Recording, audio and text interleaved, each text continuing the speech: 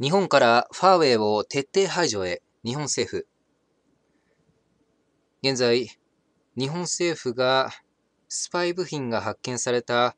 ファーウェイなどの危険な中国製品を国内から排除しようと民間企業などに要請しようとしていることが明らかになりました。日本政府は情報通信、金融、航空、空港、鉄道、電力、ガス、行政、医療、水道、物流、科学、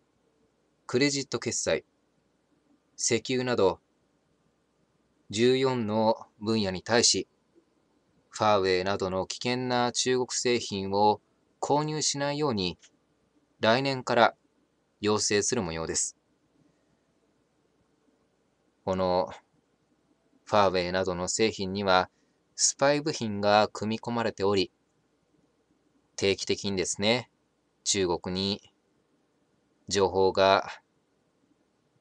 流されていたり、また、サイバー攻撃の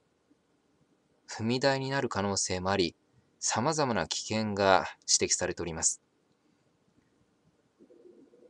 現在、すでにファーウェイや ZT などの危険な中国製品を使ってしまっている企業が多く存在する可能性がございますので、日本政府には今後の購入禁止だけではなくて、現在使用されているファーウェイなどの中国製品を把握するように努めていただき、使用中の中国製品に関しても順次